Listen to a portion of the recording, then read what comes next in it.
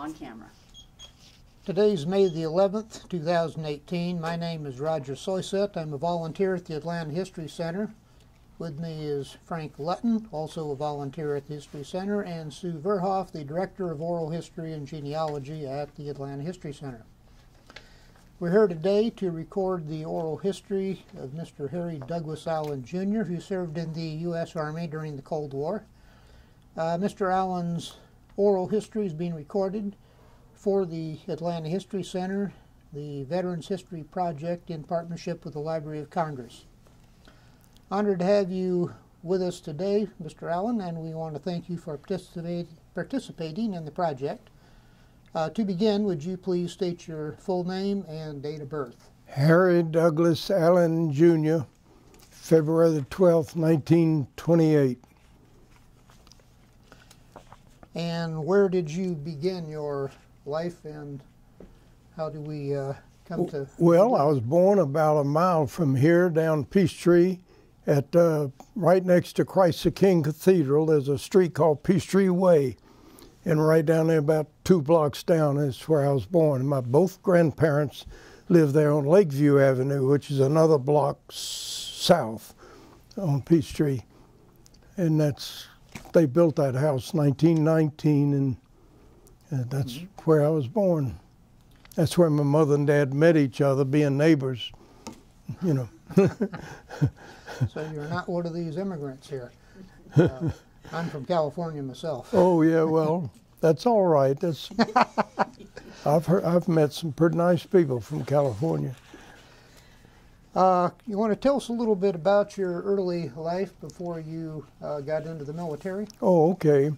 My dad worked for Western Union, and we traveled quite a bit. He got uh, transferred quite a bit throughout the southeast. Uh, and first, he, he and my wife, my mother, divorced when I was 10 months old, right there, where I'm talking about down the street. And he, uh, they, he remarried when I was three and a half years old, and I was raised by the stepmother to think that was my mother. And I was age 14 when I discovered by accident, ran across some papers that she was not my mother, but my stepmother. I knew we didn't, we weren't marching to the same music. Uh, she didn't like classical music, and I did. She didn't read at all, and I read everything I could get my eyes on. And uh, so anyway, I started out, and I could. I went to a total of ten schools by the time I finished high school. Uh, here in Atlanta and Louisville, Kentucky, Richmond, Virginia, twice, New York, Long Island, New York. And uh, I always thought that was a big adventure to travel and go to new schools. And uh, it's only in recent years that I find that was uh, hard on children. But I, I didn't see it that way. I, oh, I come home, Dad come home from work that night. We're going to move to Richmond, Virginia. Oh, boy, I always wanted to go to Richmond, you know. And, uh, well, I graduated at uh, Garden Hills Grammar School, seventh grade, and was president of the class, started North Fulton High School, and in January moved to Long Island, New York. They put me in the ninth grade there, and uh, they, they had to kind of, they weren't sure what grade to put me in because Georgia had seven and four, whereas New York had uh, six, three, and three. Well, they decided to give me a shot at ninth grade, and I was telling my daughter and son-in-law a while ago that I got there January 1st, and their mid-year exams were January 25th, and they said, we'll put you in the ninth grade, but if you can't make it, don't feel bad. We'll put you in the eighth grade. Well, I aced the, and I brought my report card along to show you if you didn't believe me. And I got all A's, and, uh, except one B, which was the first B I'd ever made since first grade. And uh, but anyway, I went on to school up there and graduated that June, and they elected me president of that class. I think it's because I was Southerner, and they they were so amazed to see a Southerner, and I wore shoes and socks and everything. and uh, then I went on to the senior high school, and then uh, you want me to keep going until oh, I get yes, sir. okay. good. Uh, and then I graduated from high school there and president of that class. That was three in a row because they liked the girls liked my curly hair, and the boys liked me because I was a little short fella, and they thought they could whip up on me. so all in all, I got by.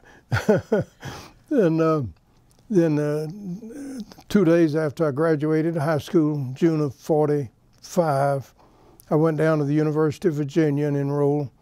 And by the next February, I had finished my freshman year. And uh, and uh, three or four days later, February 12th, I turned 18, enlisted in the Army, and uh, a few days later, reported to Camp Lewis, New Jersey, and uh, stayed there a few weeks. And then they transferred me to Fort Dix, New Jersey. And uh, from there down to uh, Fort McClellan, Alabama. But while I was at Fort Dix, they lost my records. And uh, twice I would get on a troop train loaded to go to somewhere in the in the U.S. and they'd come calling off my name, get off the train, because they couldn't find my personnel records to go with me.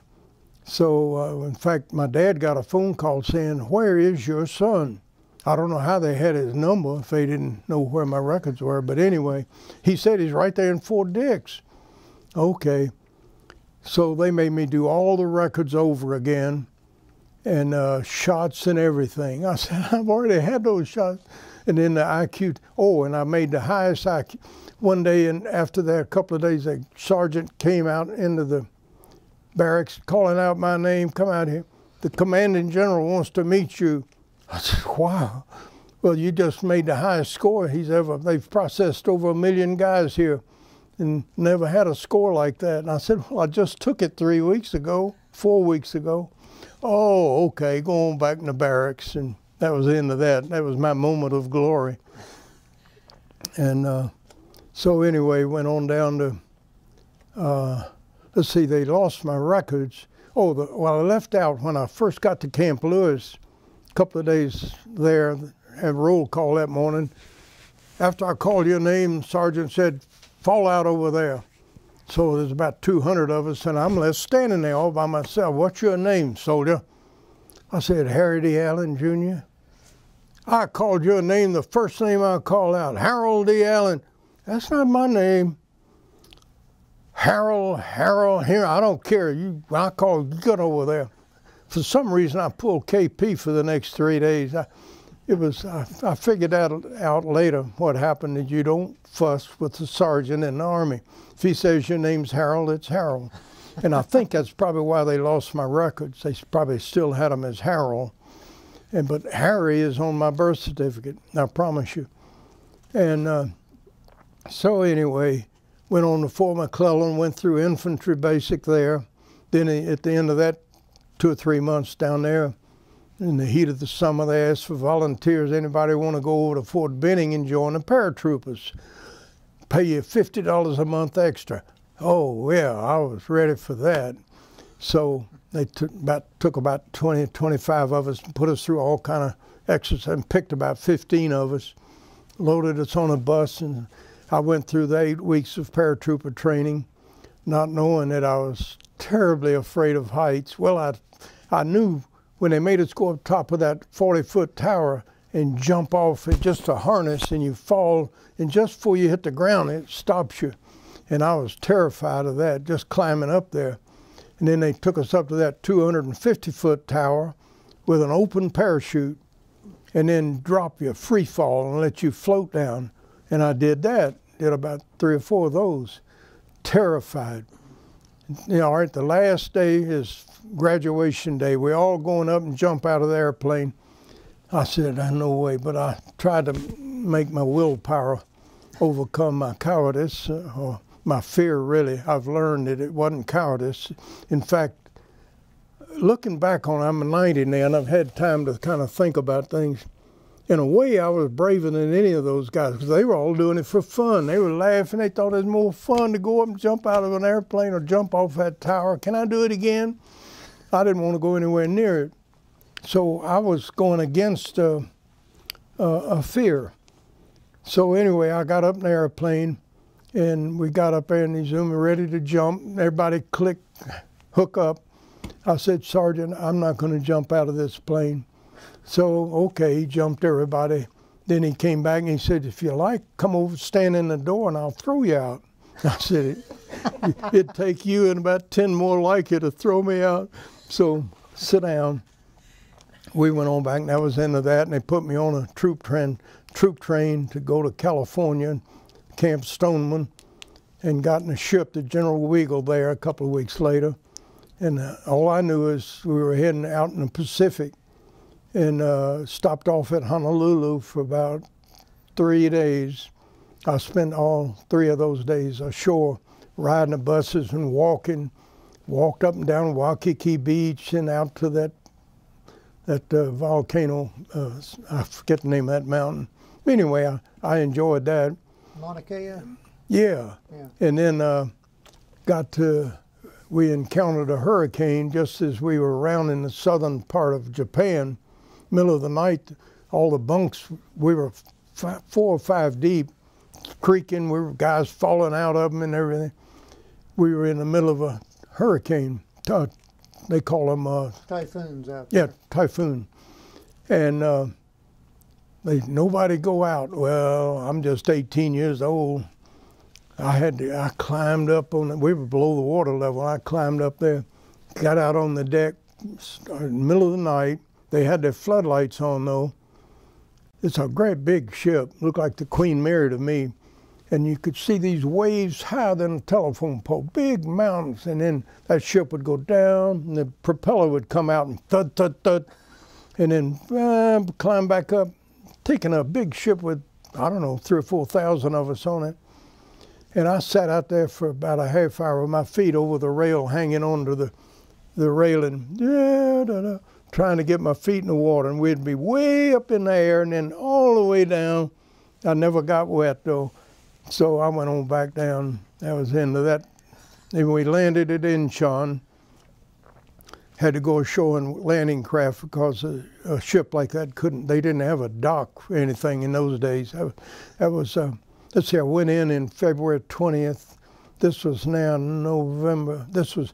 After, it took us 20 days to cross the Pacific, so it was December 1st, approximately, that we were landing at Incheon and there was I don't know three or four inches of snow on the ground, and he wouldn't let the ramp down. We had to go on because he didn't want to get stuck. The tide was out, and it was just black mud, not a beach, and he didn't want to let his ramp down, and we had to climb up and jump down, and so another buddy and I did this, locked arm, and boosted the other 20 or 30 guys up one by one, and darn it, I'm a lot smarter now but I'm the last one, and I boosted him up, and I said, "Here I am."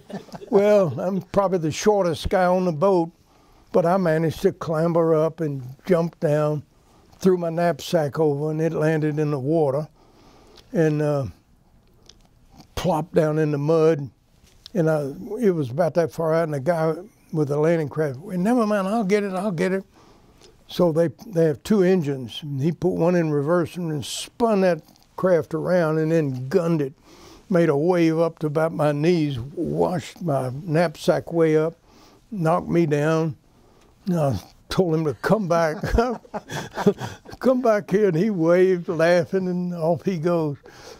And anyway, we went on into into uh, into uh, uh, Yongdung Po, which is now part of Seoul but at that time was maybe five miles outside of Seoul across the Han River. And that's where we stayed for the first uh, month or maybe it was two months. And one night in the middle of the night, the barracks building caught on fire. It was a Japanese army barracks building caught on fire in the middle of the night. My two roommates were off on guard duty or whatever and I gathered all their junk together and threw it out the window, and my junk threw it out the window, and went, and went, I went down the steps, and then went around and got all our stuff up out of the snow, and we moved out of that to another camp about, I'd say about four or five miles away, and uh, stayed there the rest of the time I was there. I stayed. That was in uh, we got there in December 1st. Oh, on that ship was a load of mail, uh, 18 wheeler load full, stacked, piled up mail sacks. And they, after they, that first morning, everybody called out three names, my name and two other guys. Joe Harkins, one, I don't know. And he said, stay here. You guys are going to sort that mail out. And I said, why'd you pick me? He said, well, while you guys have been sleeping, I've been going through the personnel folder, and all three of you've got a year of college. So you're going to sort the mail out. oh, boy. Well, and it better be done by Christmas because this is all Christmas stuff. Well, I think it was about April by the time we finished, as I remember. it was well into the spring anyway. and uh, during that spring, this is when I tell my family the famous story when I got captured. I was great for on the weekend or anytime I had a day off, go hiking around. I went, I've got a thing full of pictures I took in Seoul and around there. And I'd love to go in and walk around Seoul and around the villages and all that. It was, see, the South Koreans were not our enemies. They, we were, we had driven the Japanese out, so we were their friends.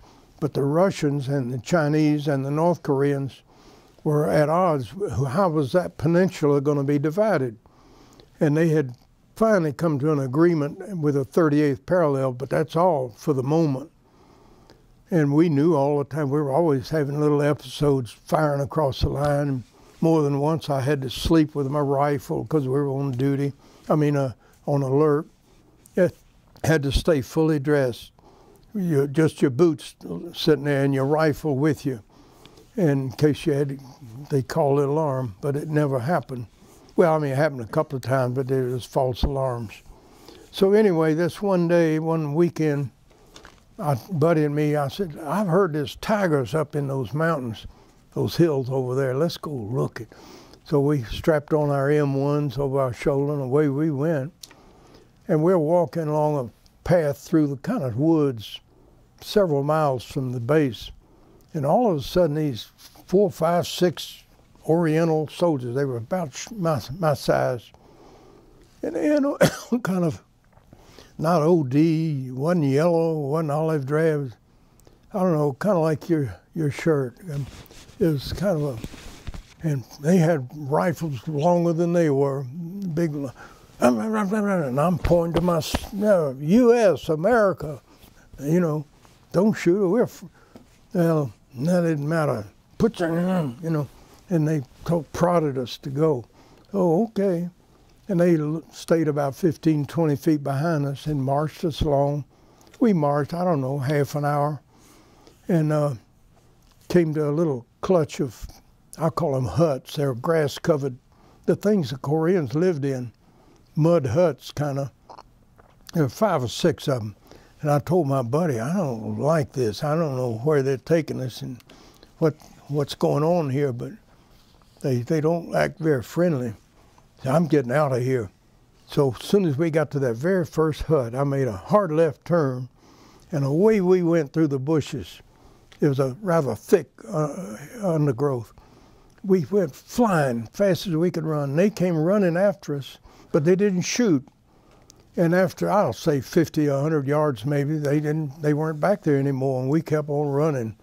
About a mile, I guess, and we finally stopped. And after that, found our way on back to our base gradually. I, I remember seeing the dikes along the edge of the Han River, and I knew that led to Seoul.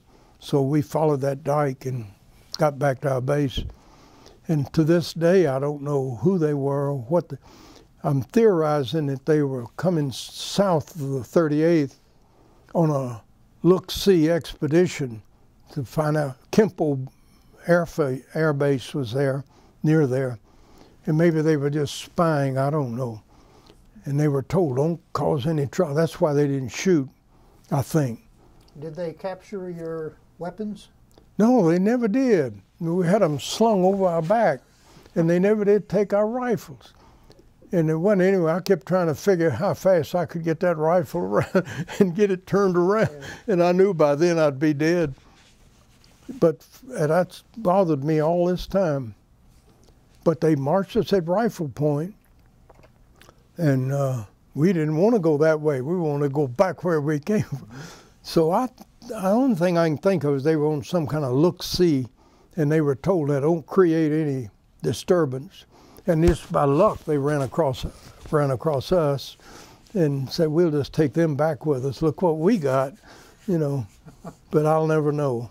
Anyway, then uh, we got back to the base, uh, you know, in a couple hours, and we decided we better not tell the sergeant because we weren't supposed to. What he did to us might be worse than what they were going to do. So you learn in the army, don't tell the sergeant any more than you have to, you know. so that that was fine. And then in uh, June, June the 29th, I got loaded back on that same ship, the General Weigel, and back to the U.S., San Francisco, Camp Stoneman. And then from there, I took a bus down to Los Angeles, where my real mother lived, and uh, stayed with two weeks with her. Went sightseeing all around Hollywood and all that. And every time I see that Hollywood sign, I remember standing there looking at that. And uh, then back to Long Island, got back there in uh, July sometime, and then back to the University of Virginia to resume my second year. And then I graduated uh, in 49, two years later. That was 47. Did you have to reapply, or had they held you as basically? Uh, I'll say that again. did the university hold your place? Um, they must have because I graduated with my class, even though I'd been gone a year and a half. I took extra courses all the time, and uh, went to summer school '48. To, so between the summer school and the extra courses, I finished with my same class. But they uh, colleges were on a year-round basis during World War II to help students hurry and get out of college so we can get you in the army, and so anyway, I graduated in '49. Doug, Doug, excuse me for interrupting. When when did you try to to touch the Golden Gate Bridge? When was that? When did I do what? The Golden Gate Bridge. Oh yeah, coming back from Korea in uh, uh, July of uh, '47. It's nighttime, dark. It's about nine o'clock, and we could see the Golden Gate Bridge over there. Looked like a string of pearls, and I thought, God, we'll never fit under there. Although we had already fit under there coming out, but you don't think logically. I said, "There's no way." So as we approached it in the darkness, I climbed up the mast, and there's a cross piece up. It's really just a radio tower. And then I, two or three other guys came up. Uh, we were sitting up there like crow uh, birds. And about that time, the sergeant said, "All right," called us down there. You know you're not supposed to climb up there, and he lined them up. And I'm over next to the funnel, and he was taking names of the fifth guy down here, and it's dark, pitch dark. I took off around that funnel quietly and went downstairs to my bunk and laid there like I'd been asleep all day. And then the next day we unloaded the ship going down the gangplank, and I just knew he's there with his clipboard checking the names off as you come down. I knew he was going to say, "All right, off to one side," but I, I had my duffel bag, and I'm kind of, you didn't. I got by, and nothing ever happened. So, I got away with running away. That's twice I've run You away. obviously found the secret of getting by in the military. I have learned how to run. Paying attention. Yes. uh, let's see. Back to the university, and uh, nothing happened there really. Just working all the time, going to school. Got married, graduated in June. Got married in um, August, and uh, was I had enrolled in graduate school back in uh, June. Went to summer school and graduate school and and in October, my wife was a nurse at University Hospital, and our apartment was about a mile across, completely across the grounds. And I'd walk her over. She was on the 11 to 7 shift, and I'd walk over at night, and in the morning she'd walk back. And we did that we did that into October, middle of October. I didn't like that at all. And I had bought a little 1931 Chevrolet for $50 that would own, didn't have a starter. You'd have to get it on a roll and pop the clutch. If you young people don't know what that is, but Oh, yeah. old Roger will know what that is. Yeah. And uh, I'd always roll it down and pop the clutch, and away we'd go. Anyway, I got tired of that life. Out of, and I got my first job in a bank in Richmond as a note teller, uh, what they call a loan teller. And uh, the officers would approve these loans, and then they'd bring it over to my window, and I'd dole out the money, whatever it called for. Or the used car dealers would bring their paper to finance cars. One of them was Dapper Dan, the used car man, and he'd bring his papers in there every day or two and lay them there, and we'd set up the account, and I'd dole out his money. And I did that for about a year, and I found the fellow that I replaced was 43 years old, Pete Hayes. And one day he let me know what his salary was. And he had been there 22 years. And, I, and he's only making $325 a month. Of course, I was only making 200 So that was the going wage then. When he hired me that October, the, the, the bank president hired me, Mr. French. And he said, well, I'll offer you 185. And I kind of did like that, I guess, because he, well, okay, I'll make it 200, but that's more than we've been paying. But seeing that 200, you all would laugh at that. but anyway, when Pete told me he was making three and a quarter, and he had been there 22 years, so I left the bank and got a job back in Charlottesville with a finance company and as assistant manager, and I stayed there five years till I became manager of it.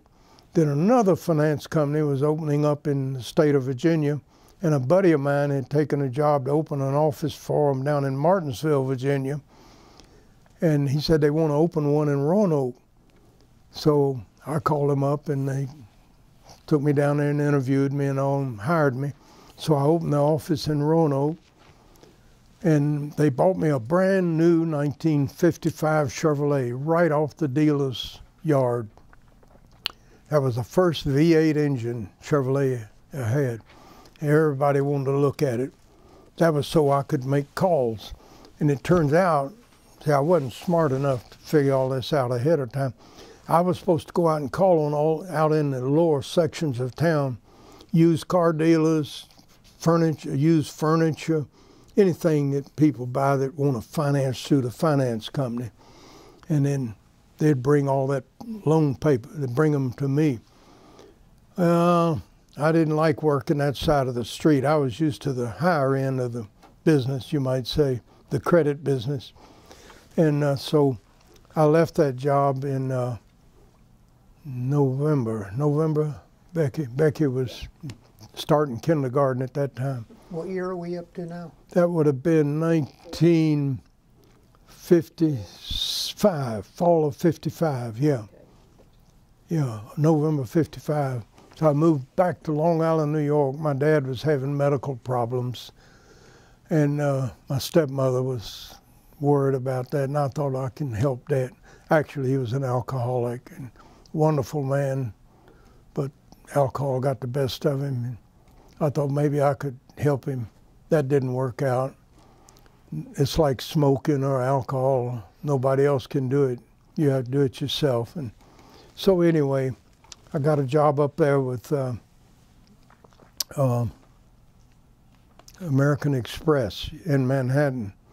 Rode a train in every day, about 30 miles, all the way into New York. Subway down to American Express, back up. Took me two hours each way each day, four hours traveling. I did that for a, a year, no, not a year, until the following July or August, I guess, Becky. And a buddy of mine here in Atlanta, Henry Jackson, who lived on Lakeview Avenue also near me, had been after me for three or four years to come down there and he was making a lot of money building subdivisions, houses. And he needs somebody to do the office work. He was good at promoting and all that, but he didn't care about all that paperwork, and he thought I'd be a good guy. He had, he kept begging me to come down. Finally, he sent me a plane ticket up one week, and that weekend I flew to Atlanta, and he got in a car and drove me all around where he's building out in Sandy Springs, and uh, made me a real nice offer offered to pay all of the moving van and everything. So I went home, told my wife, we're going to go back to Atlanta, where I'm from anyway. So we moved back to Atlanta in 56. My daughter had been born in June of that year, and also my wife's mother had moved in with us. She had retired as a school teacher at age 65 up in Virginia. So I now had uh, four children and a mother in law and a wonderful lady. And I lived with us for the next 18 years. I think it's 18 years. And we moved back to Atlanta, and I went to work for Rich's department store. After I, oh, I went to work with my buddy, and yeah, he was he was building subdivisions everywhere. Make, and I got it after I did what he wanted me to do, get all his paperwork straightened out. I went in. I said, Henry, you owe more money than if you sell all these houses that you're worth. You can't even pay off. Oh, don't worry, that's what a construction loan's for. You get a you build another subdivision, get an advance on that, and that's what you use to pay those. I said, I see how that works short run, but sooner or later it catches up. Sure enough, about 18 months later, December, they had a interest rate hike and all the housing sales went down. We had an inventory of like a dozen unsold houses. And he, he said, okay. And so he bankrupted the company. Right and I went, Christmas. huh? Right before Christmas. Yes. Oh, yeah. It was uh, Christmas week. It was a, Oh, like wow. a 21st. I came home that night and told my wife, I not only don't have a job, I don't even have this week's pay, paid every Friday. I don't even have this week's paycheck. Oh, well. But within, it took me about three days to find a job at Rich's department store. You all, you, you'll remember, you'll remember. Yeah. And, uh, in the collect, to be head of the collection department because of my background. And I stayed there till uh, 75. That was from 58 to 75. Yeah. And uh, then I left there. Mr. Rich had retired. I'd on good terms with him and his secretary. She was all call me every day to come down there to some mad customer. They charge account, some take care of it. And they knew I could calm the customer down because Mr. Rich didn't want to have to bother with all that. So, but he retired. And uh, Mr. Brockey became president, and he was a good guy, and I liked him, got along fine. But then he had Joel Goldberg, his son-in-law, to become president. And he was a quiet fellow. He didn't visit the credit department or have, I mean, I'd have to go down there and see him a couple of times a week when he'd have mad customers. But anyway, I just decided this is uh, this is no longer the place. Oh, I left out. They got a, the controller retired also, re- resigned. He didn't like it either. John Bradley, good fellow, my boss. And uh, he moved to Louisiana. And then they, the new controller was a real pain to everybody, including me. He'd pick up, I'd get a, Doug, I need you right away. Bang. Come in his office. None of this, are you busy or anything. A couple of times I said, "Uh, sorry, I'm with a customer right now. I don't care. Come here. That's the way he talked. Uh, you can imagine anybody knows my personality. I had put up with that too long. In fact, I had words with him. When you call me and tell me to come, I went up there and I said, "Now look, when you call and tell me to come here, I'm glad to do it, but my, our customers come first, and the sooner you learn that, the better off you're going to be, because they're the ones that pay the bills." He didn't like that a bit. and nobody ever talked to him straight that way. So anyway, I left Richard and went to work with Equifax. and stayed with them till I retired at age 60. I stayed with them 77, 12, 12 years. That's what my my retirement thing says. 12 years, and they made me a regional. They hired me as an assistant vice president, and raised about a, eight months later, raised me to Southeast Regional VP, Southeast Region, all these seven, eight states here. And uh, all the credit bureaus, we had about a dozen in each state, plus we had affiliated credit bureaus. So it'd be about 20 credit bureaus scattered around it. Like here in Georgia, it's Atlanta and Gainesville and Rome and, and Carrollton and, you know, Cedartown and all over. Anyway, that's what I did, and I really enjoyed that. That was a wonderful company, a lot of good people there. I retired at age 60. My wife became ill with uh, emphysema, and uh, uh, couldn't work anymore. She was a nurse at uh, Northside Hospital, and uh, about eight months. Let's see, yeah, I retired about. She fell out on the job in the middle of the night from emphysema. And the doctor, when I got there, the doctor said, Well, I've been, that morning, he said, I've been telling her for three or four years that she's getting emphysema. But my wife never told me that. She, I didn't even know what emphysema was, to tell you the truth. When I would come home from work and she had been to the doctor, I'd say, Well, what did the doctor have to say today? Well, he told me to quit smoking and he told me that I had a, he gave me something for, for, for my cold but she, mommy, Becky, mom never really told me. I would have put the law down about the. I tried to help her. That's how I know about alcohol. My dad with alcohol and my wife with cigarette. Bless her heart, sweetest lady in the world. She was smoking when I met her at the University of Virginia. She was in nursing school, or she had just graduated, and she was smoking then. But everybody smoked then. I didn't think anything of it. In fact, I tried to, I bought some cigarettes and tried to pick it up. After a couple of months, I said, I just can't catch this habit, which proves you need to think you're getting away with something, doing something you're not supposed to do, and then you can do it. well, I was trying to, but anyway, she, bless her heart, the doctor said she's not going to live very long, two or three years. I'm sorry to tell you that, but I've told her that. You know, she hasn't told me that. So I took early retirement at Equifax. He said "Sh- somebody's have to take care of her. Put her in a nursing home.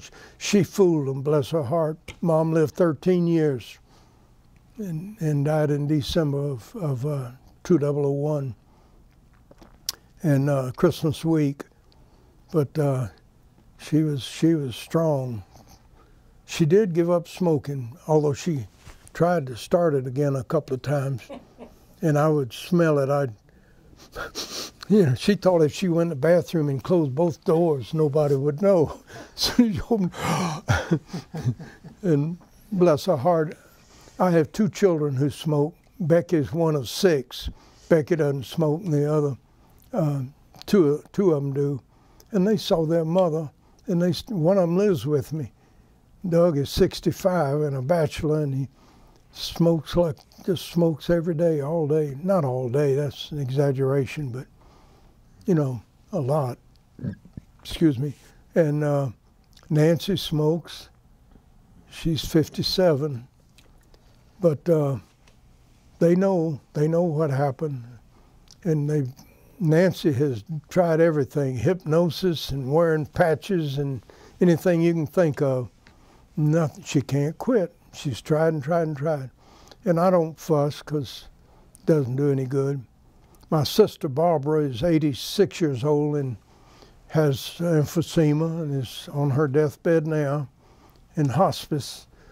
And for the last two years, the doctor keeps saying she's not going to live much longer.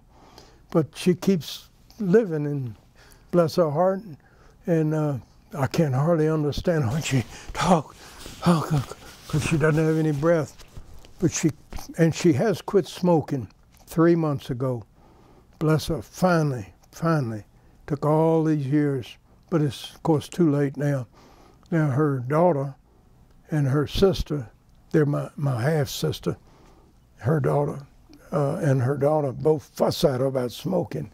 And I've pleaded with them, don't fuss at her. She's in a hospice situation.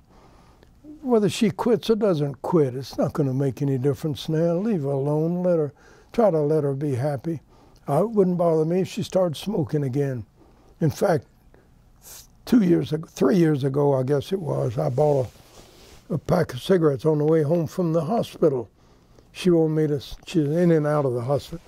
I'm out of cigarettes, and I'd pull in her drugstore and buy the cigarettes, which is crazy, I know. But the more I think about it, I'm perfectly proud that I have did what I could to make her happy. There's no way I could refuse to buy the cigarettes. She'd just get somebody else to buy them. Uh, you know, no need of having an argument with somebody that's at the end of their life. So let's see, I've got you all the way up to my retirement, and since then I've just lived alone after my wife died, I live alone. Becky lives across the street. They called me one day. We were living in a condominium that we had bought that had steps, and my wife couldn't do the steps. We didn't think about that.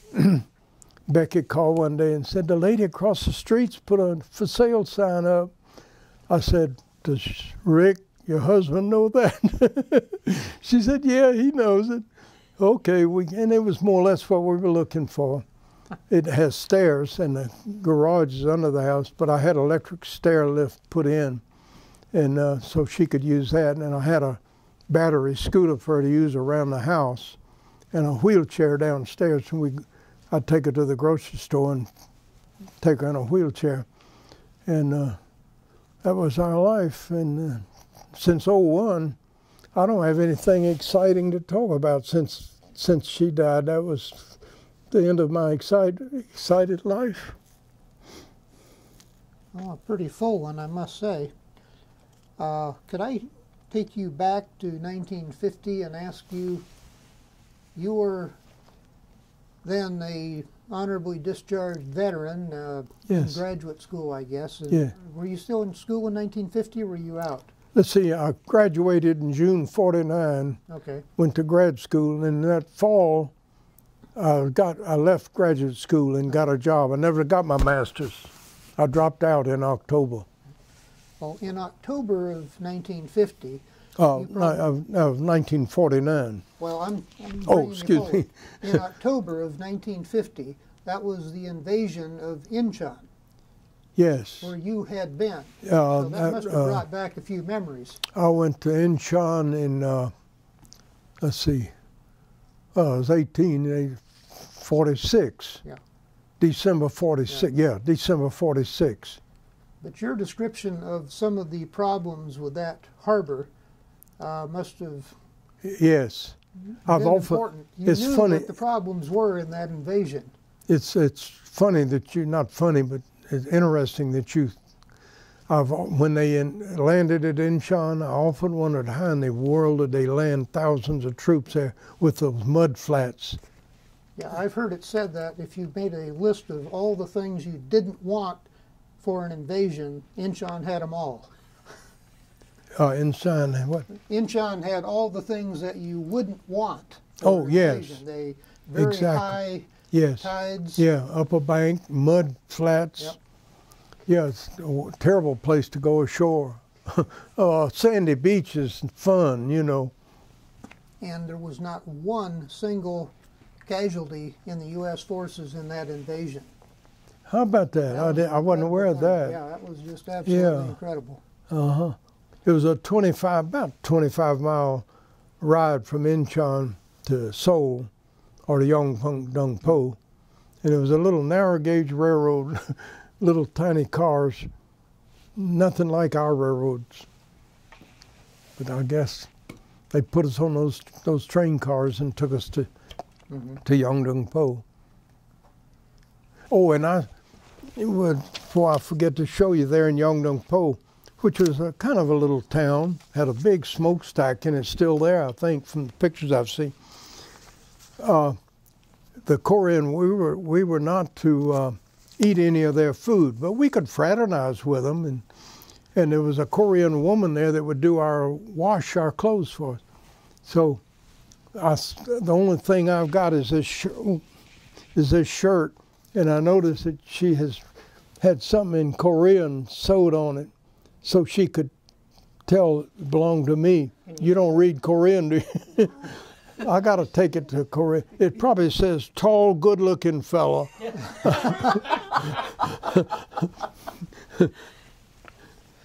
and uh, but anyway, that's the way we got our laundry done. And I brought you these. I made these just. These are things I got off of where we were at Incheon Yeah.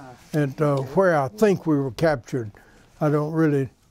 Here, you can look. It's okay. You can you can keep those Okay, if you. great, fantastic. Question mark, Uh, Mr. Allen, I've got a question for you. Yes, ma'am. You had completed one year of college before you went in the mil.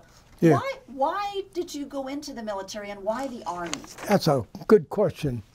And I, I was a pretty smart little fella. Money meant everything to me. I was, I didn't. My parents didn't help me, and uh, I had a little scholarship down there, and I knew they had the GI Bill then, and I knew, and you got a year just for going in, and then month for month. Well, 18 and 12 is 30. You with me? and I had 27 months to go, three times nine, plus a summer school two months, made, you know, and I had all that figured out. So as soon as I had my 18th birthday, I enlisted immediately, like two days later. How did your dad and your stepmom feel about that? They didn't care Yeah, okay. Mm, one way or the other. My dad was a fine fellow, but he was too busy. He never, in neither one of them, the only school I ever remember them coming to was in the fifth grade. My stepmother came to E Rivers when I was in the fifth grade. We were having a field day of some kind. She came to that, and then when I graduated at seventh grade at Garden Hills Grammar School, my mother and my my stepmother and my dad came to that, and that's the only two times in my ten years or however many, 12, 11 years of school that my parents ever came to the school. Tell about And now I hear Becky's all practically lives at her. She's got 22 grandchildren, and she lives at their schools, and she doesn't know it, but I think, oh, would you come to my school? What about your school patrol trip? You know, that the, uh, Oh yeah, when I was in the uh, seventh grade, going to graduate grammar school at Garden Hills Grammar School. That uh, spring, along about April, um, uh, February rather, uh, the teacher said uh, uh, the, they had what they called a schoolboy patrol. I don't know if schools still have it, and you wear a little white belt. And I was captain of the schoolboy patrol in my school. My, you know, every shift I'm out there. You go stand over and you go over. All right. One day the teachers, uh, every year they had a uh, a meeting in Washington D.C. and the schoolboy patrols came from all over. We had a train full leave Atlanta, full of schoolboy patrols from all over Georgia. Anyway, and it was going to cost thirty-four dollars. So I went home that afternoon and told my stepmother about it. She said, "We we can't afford that. That's no. We, I'm sorry." So next day I told the teacher, I, I, can't go. Okay, that's the end of that. About two weeks later, when I came home one afternoon, my stepmother said, the lady that's uh, president of the PTA called, and they're going to pay for your trip to Washington. And I thought, well, that's nice. How, of course, I didn't. I've thought a lot of things I should have said. You all spent enough on whiskey on the weekend, to pay for my trip. You ought to be ashamed making them. But I've thought of a lot of mean things to say in my older years. But my older sister, Gerda, who's eight, 19 months older than me, has, I think, convinced me to be more charitable. That uh, don't don't think those mean thoughts because they hurt you more than they do that person anyway. Uh, and I've graduated at age 90. Finally, I think I see the wisdom of that because I realize now my stepmother the, the, the getting a divorce when I'm 10 months old, and then marrying her, and her and I didn't get along too. But I wasn't there, and I don't know all the circumstances. I don't know. So it's better that I not be judgmental. So I, I try. I'm probably more broad-minded about the failings of my generation, people around me now. I say, oh, don't take it that way. You know, I wish I'd been that wise when I was younger. But, but if he gets the old German saying, or Dutch, if he gets too soon old and too late smart. Yeah. Heard that one. Uh, looking back on your time in the service, since this Yes. uh, Veterans History Project is about the service, uh, what comments might you have about, you know, what did you feel about what you were doing at the time? How did you get along oh. uh, with the people that you served with? Well, I, I, I, the service in the army was not bad. I, I can't say I enjoyed it, but uh, I made a lot of good friends, and uh, they made me the postal clerk there. I was our postal clerk, and I wrote the money orders because any of the guys want to send money back home. I had them in a lockbox, and they had to go in the command, uh, captain's desk drawer every night. And then during the day anybody wanted money, regular U.S. postal money, I had the rubber stamp and everything, and uh, twenty dollars, you know, and make it, and they could mail those off. So I had that little job to do, and that's about the only pull guard duty occasionally and things like that. But it was just pretty humdrum. I didn't do anything exciting.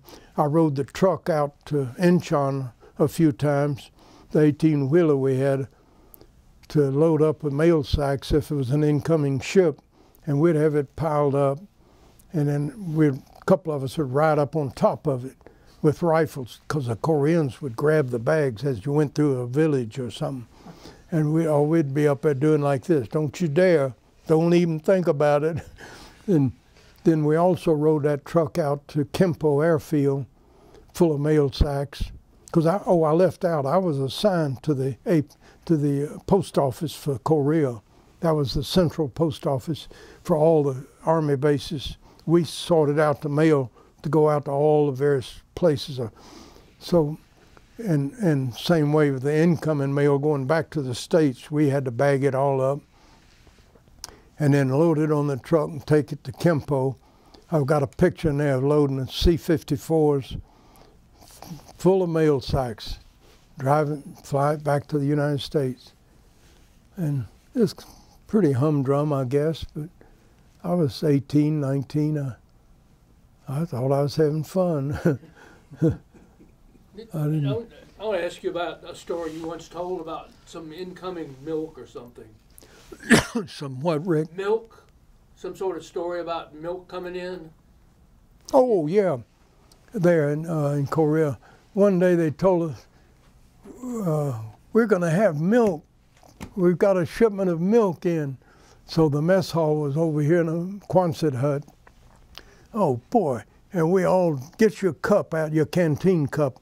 And we lined up, everybody had their cup, fill it, and he was there filling it. It was turned out reconstituted. It was powdered milk.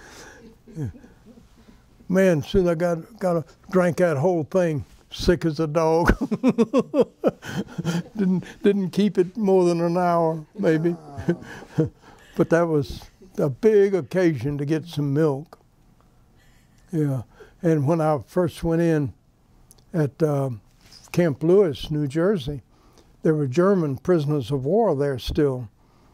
I guess they were being processed to send them back to Europe because this was would have been February of 1946, and the war had just ended in August, six months sooner.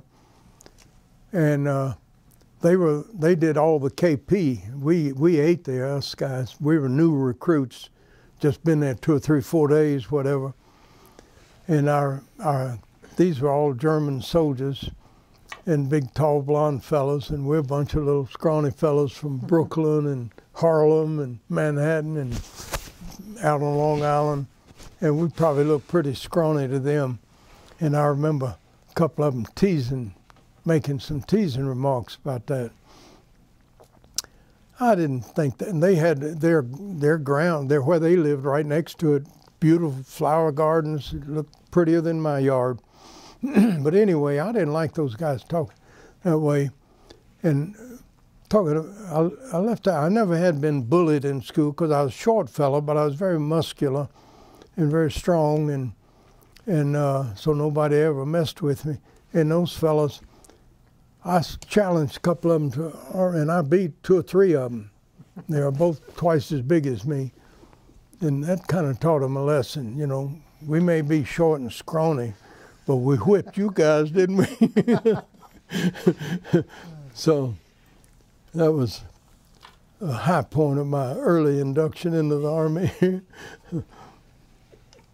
Well, speaking of the aftermath of World War II, when you got to Korea, uh, were there still any Japanese troops there? Uh, no, uh, as I mentioned, we were in their barracks, but they had all been shipped back to Japan. And uh, the Korean people were, we were not too, we were friendly with them, but we were told not to eat, go, you know, get too intimate with them. And uh, I have dozens of pictures of me taking pictures of them. They were always very friendly to us and yet kind of stand. I guess they didn't know quite what to think of us, Americans, Japanese. Either way, it's an outside occupation. And Japan had ruled that country since 1903, I believe. They hated the Japanese. Boy. Uh, My understanding is that But they- the, uh, when I there s- were Japanese kept in North Korea. Uh, they hung on to some of the Japanese that had surrendered on that side. I don't know. The Russians did. Yeah, I remember there was a big high-powered meeting in Seoul that spring. The Russians and Chinese and North Koreans, because several of us had to be on duty down there, and they had the U.S. flag and Russian. I got a picture of that in a meeting down in the city hall, of some big building there in Seoul, and they were having some kind of argument about the 38th parallel, north and south. Yeah. Still, still arguing about. See, the North the Chinese and Russians wanted all of that to be communist. Yep. And we wanted the South to, we didn't want it to be communist. That's what the argument was about. And that's what caused the war, really.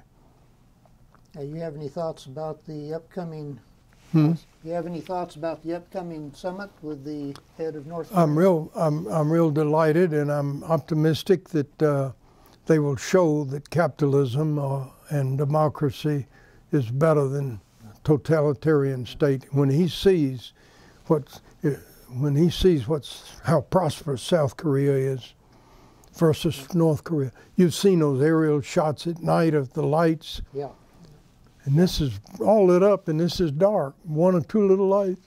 I'm hoping that the fellow won't let his ego get in the way of doing something. I'm really hopeful. And um, they see they're going to meet in Singapore, and I think that's real good progress. I would have been happy for him to meet there at the on the 38th. They thought about it. I, yeah, I thought that would have been a. He could have stepped across. Pompeo's been there. Yeah. You know, he's been all the way to Panmunjom. Um, let me. See. I wrote my notes to see if there's anything. Rick made me do it. Make sure I didn't leave out anything. I told you about the hurricane. I told you about paratrooper flunking out to go to that. Say, did you ever get your fifty dollars? Oh yeah, I got it. Oh wait, wait, no, we had to graduate first to get it. Ah, dirty trick. Okay. And I went through all that two months of rough. Try. I just finished infantry, and then that they. ta- at least I learned how to kill people with my bare hands. So be careful. no, they did. They taught us how to. If a guy comes at you with a, a knife or something, what how to do it, and how to, taught us all those tricky things. I never have had a chance to use it. Yeah, I told you about that. Rich's. I did think about it a couple of times. that uh, that new controller that came in, I did think about that. Yeah. Oh, I did leave out that one time I was hiking. I see this. I was hike on my own, hiking up a hill outside of Yongdung Po, a few miles away, and I noticed four, three or four Korean men were following me, maybe a couple of hundred yards back. And I thought, why they followed me? And I'd walk on, I look around, and they're still followed. Excuse me. I hope that didn't come over the mic. So I got my, I had my rifle. I took it over. I fired two or three shots near them, not Yeah. just to kick up some dirt. Last time I saw, they were about a half mile away running fast. I, I hate it. Looking back on it, I hate it. They probably just want to be friends, but I didn't know. Yeah. I told you about, yeah. Yeah. I, I feel like I've told you everything I know and then some. I have Yeah. a question. You seem to be to have a very open, uh, jovial, and adventuresome person, Thank you. which I can appreciate.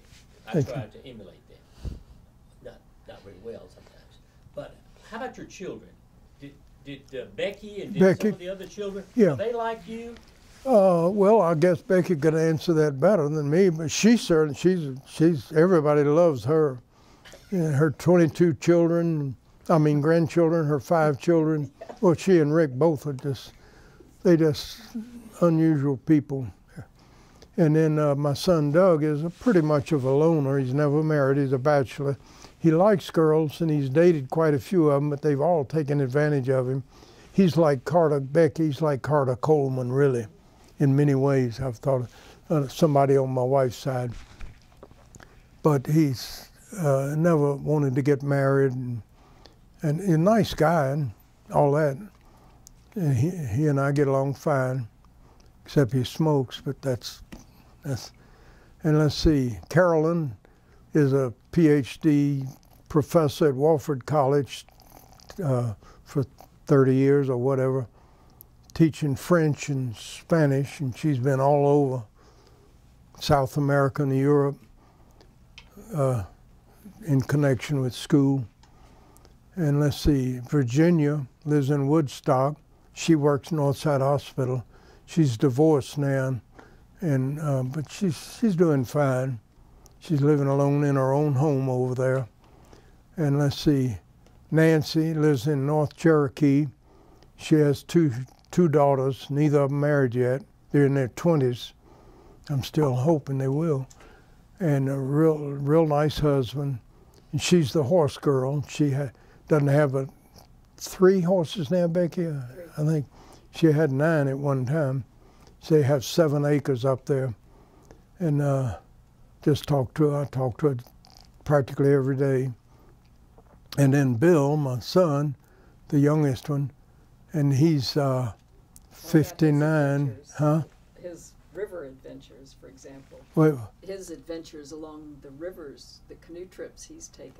uh, Becky, as The adventures Bill has taken. oh my goodness, my son Bill, who is 59, lives in, with an Acworth address, but he's closer to Woodstock. All my family is all within Woodstock or Cherokee or this side, including her family, except for the one daughter up at Spartanburg, South Carolina, at Wofford College. But all the rest of them are here.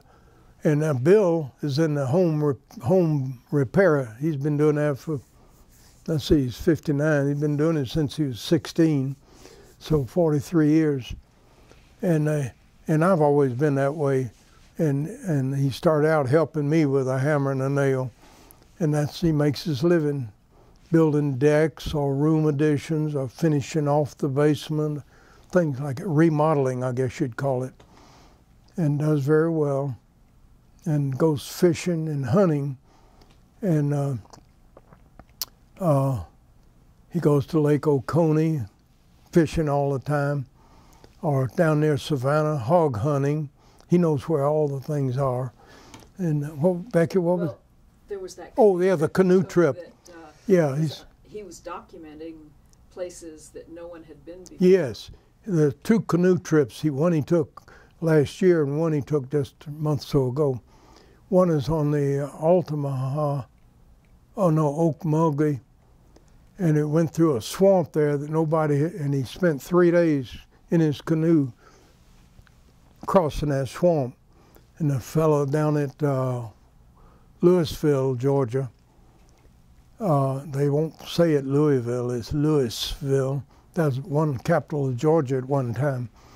The man that runs the newspaper there had a front page story and pictures about him because nobody had ever been able to go all the way through that swamp. And Bill did it.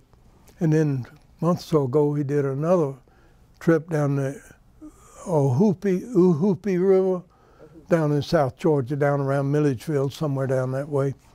And it took him a week to do that, seven days, till it came into the Altamaha. And that included some swamp areas. And he camped on the, on the bank each night, go about 15 miles.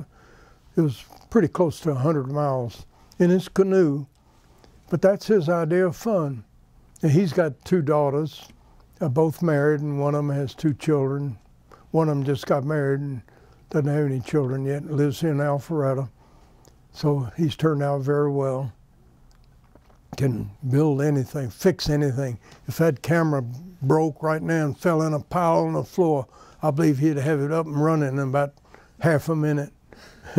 he's just got that talent for fixing things.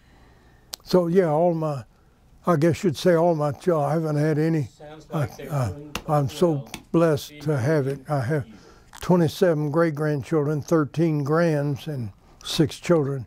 And none of them, except the two that I know of, smoke or drink, right? Is that as far as you know? I don't think anybody I know he, they do any of that stuff. So how about your birthday party? Oh my goodness. Oh, why didn't I bring a picture? Becky and Rick put on back in February 12th, they were going to have a big birthday party. They did it a year ago. And about 80 people showed up. This time, 96 people were going to. And uh, they do it in the gymnasium of uh, the church that, that, one, that one of her daughters belongs to, here on Holcomb Bridge Road. Uh, that, I'm pointing to it. It's up there in Roswell.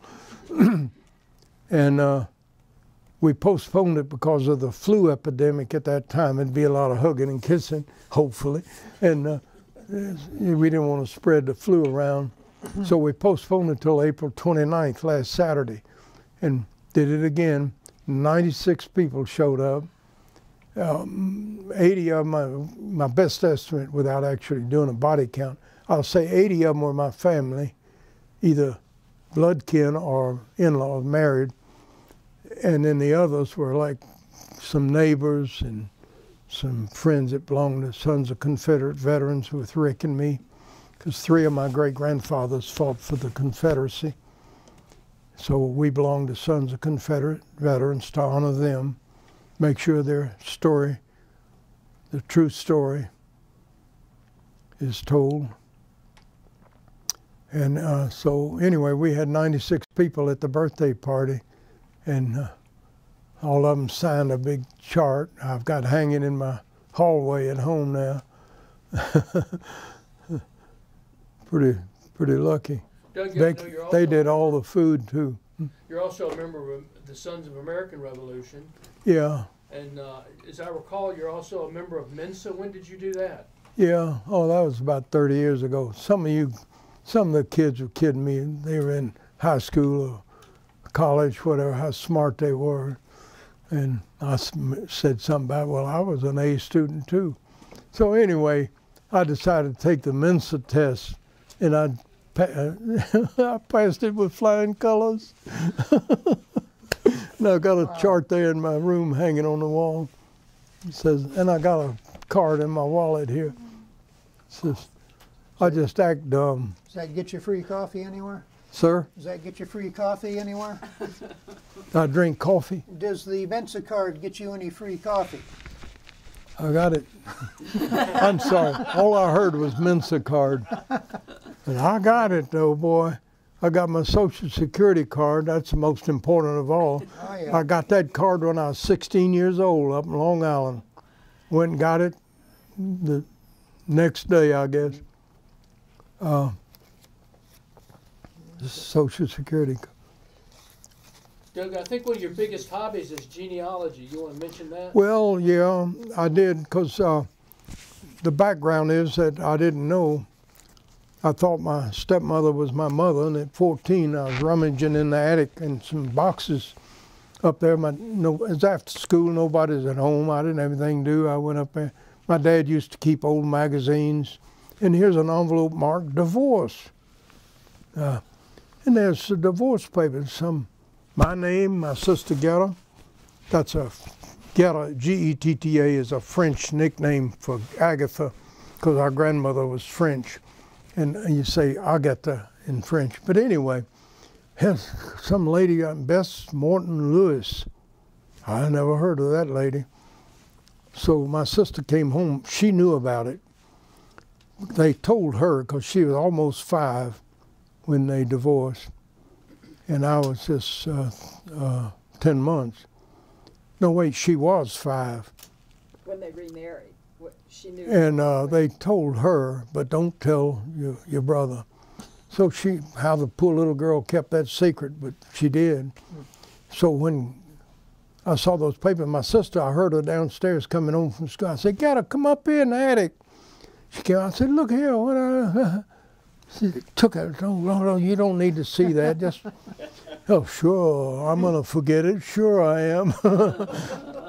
she showed it to my stepmother, and the very next day, my stepmother got me to one side and said, Sorry you found those papers. That woman was a terrible woman. Please don't tell your father that you know about it because he hates her. And she's, that would just break his heart if he thought, he don't want you to know anything about her. She shouldn't have said it like that, but she did.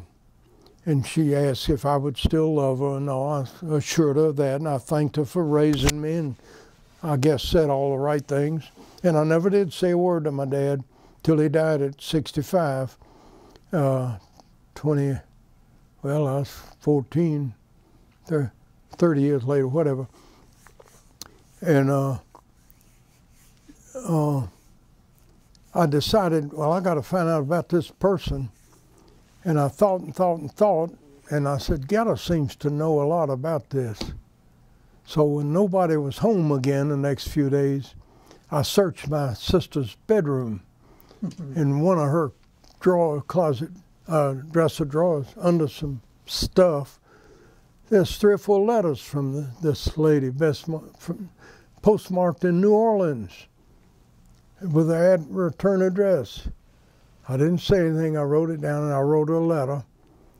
And I'm your son, you know, blah, blah, just like on TV. And uh, when you answer back, I gave her the name and address of a fellow right here in Buckhead, Bobby, Bobby Sanders, on Brook, Brookwood Drive. And I put that address on there. So when the letter came to me, and we wrote back and forth couple of times, then one day my stepmother got me to and said, I know what you're doing. what? she said, I know you're getting mail. That mail is not from Bobby Sanders because it's postmarked St. Louis. and she knew that's where the, I didn't think about the return address not matching the postmark. what I say about if he gets too soon old? Oh? and so what I did was simply give him a different address, a buddy of mine up the street, and I got my mail there. And I kept that up. I got a job in a filling station and started getting the mail delivered to the filling station. And I didn't see her till I was at Fort McClellan, Alabama, and she took the train up from New Orleans, and we met at the platform. Mother, son, you know, just, you know, just like in the movies. And uh, then I didn't see her again. That was the first time I'd ever seen her in my life, except when I was a baby. And then I next saw her in Los Angeles when I got out of the army, and I went from Camp Stoneman down to Los Angeles and stayed two weeks with her. So we got acquainted. She never married again. Stayed, uh, just bounced around, lived by herself. Uh, well, that isn't quite true. She, she had three or four boyfriends over the years. my, my sister Getta was pretty critical of that. But anyway. But that sparked your interest in genealogy. Oh, oh, I, I lost, I lost the reason I got on that was genealogy. Yes, thank you, Becky. Well, and the whole French connection. See, my daughter has to keep me straight. I decided to, I'd asked my mother, you know, who were your parents? She told me about Agata, Agata. Where did Agatha get the crazy name like that?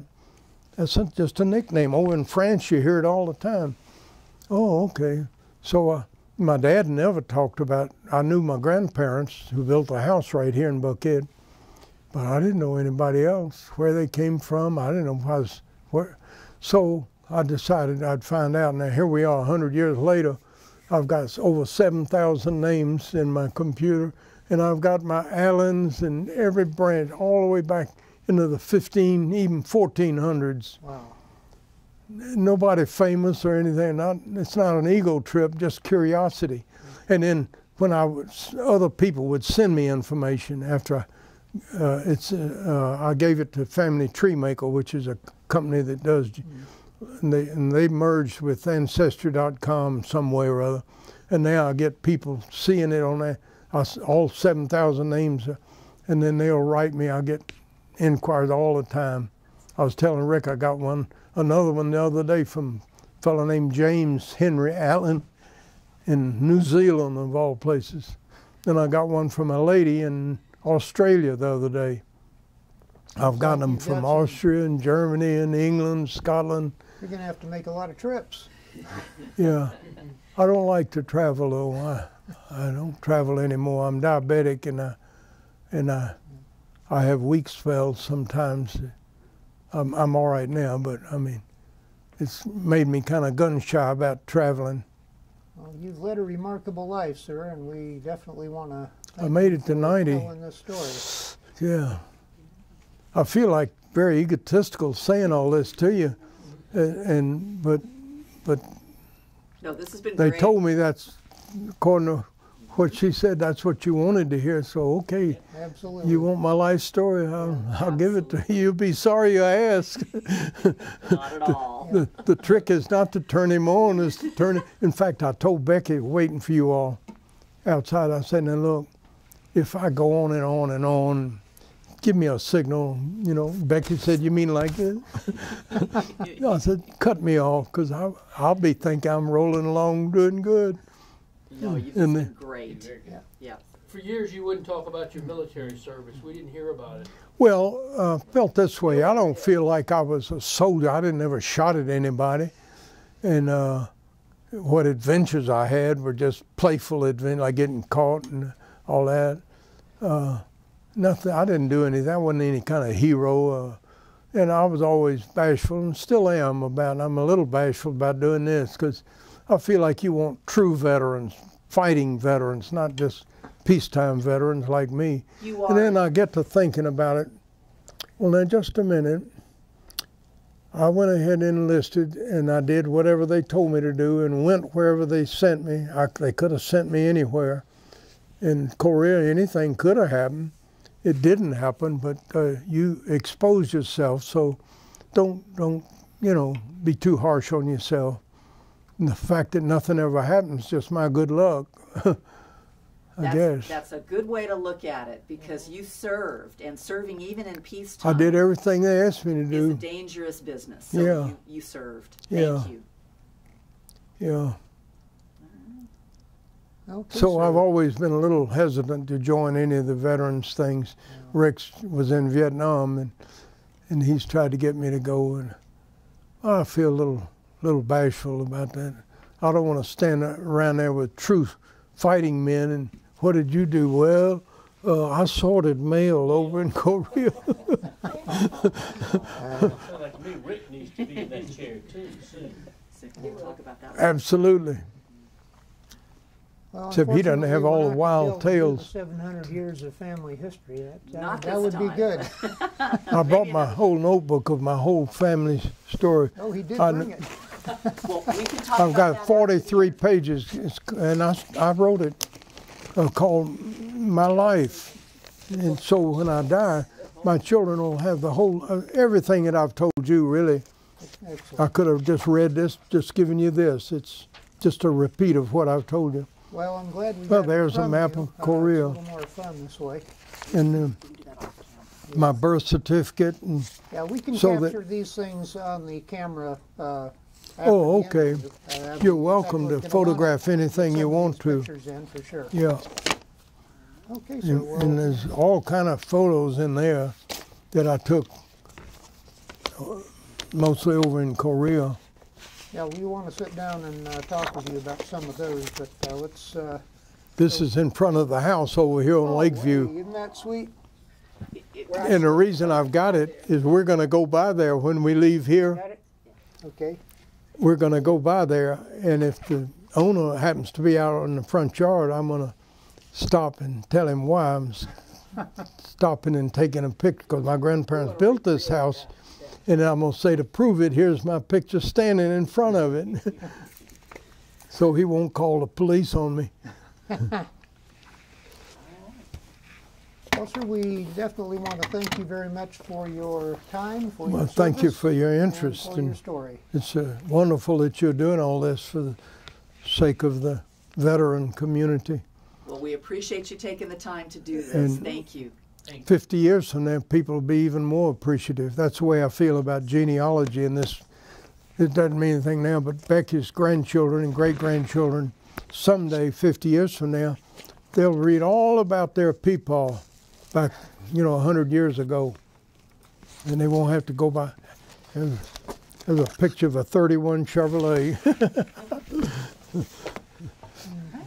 Okay. Okay, Thank sir. you very Thank much. you. You're quite welcome.